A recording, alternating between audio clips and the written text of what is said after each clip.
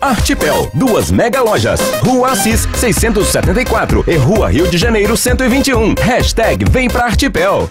Vamos falar da máquina maluca aqui no plantão também. É uma máquina retroescavadeira do Departamento Municipal de Água e Esgoto atingiu uma Kombi na, e a porta de uma garagem na manhã de hoje foi lá na cascatinha, né? O, é, gente, foi um susto. Olha o tamanho da máquina.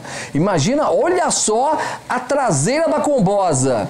Olha só como ficou a traseira da combosa, hein? Você já viu uma combosa na vida? Ei, eu já tive uma combosa e era legal, viu, Juliano? Eu tinha uma combosa verde. Olha, arrancaram a traseira da combosa e o portão também, hein? Para a Polícia Militar, o motorista da máquina de 45 anos, ele disse que estacionou a retroescavadeira na rua Lavo Bilac, bem de frente ao número 140. E após descer do veículo para fazer uma avaliação do local e realizar o trabalho né, de retroescavadeira, o veículo começou a descer, gente. Desceu o morro e sobrou para a coitada da combosa, né? A combosa estava estacionada na via, ela foi arrastada e só parou quando bateu nesse portão de aço que você acompanha na imagem.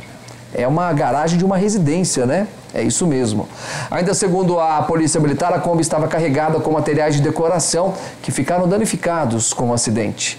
Na tarde de hoje, o portão foi restaurado pelos servidores públicos. O demais é muito sério, né, gente? É um, aconteceu, é um acidente, é um incidente, né? um susto danado, o motorista nem teve culpa porque é uma máquina. Nós estamos falando de uma máquina, né? Se o ser humano fala, imagina uma máquina, né? Não dá para confiar. Vem comigo.